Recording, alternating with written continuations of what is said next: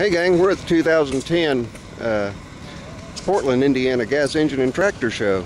And I'm set up with just a couple of my tractors and with a bunch of uh, King Midgets. This one here is, I believe it's Kawasaki powered. It's got a uh, 250cc twin Kawasaki in there.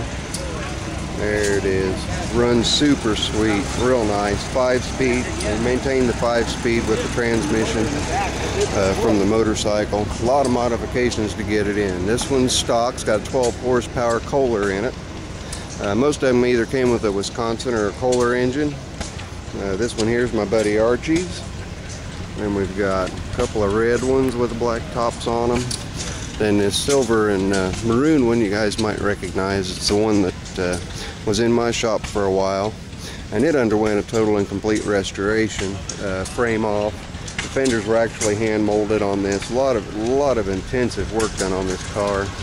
Uh, it'll be coming back into my shop for me to do a uh, engine swap in. I'm going to put a 16 horse Briggs cast iron, get rid of the 9 horse Wisconsin.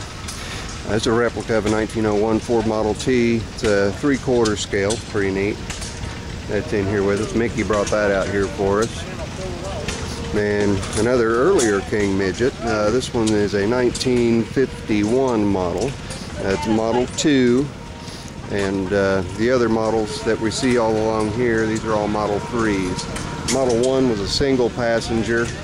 And uh, then you got into the Model 2, you're able to fit two people in just pretty neat little little uh, go about town cars. And uh, Larry he's been just driving the wheels off of this one. Really been enjoying it since it's been running. It sat without uh, running for three years until I got a hold of it. And then in the back here's my old Broadmoor 728 Broadmoor a 3416 Hydro. And beside it's the old landlord.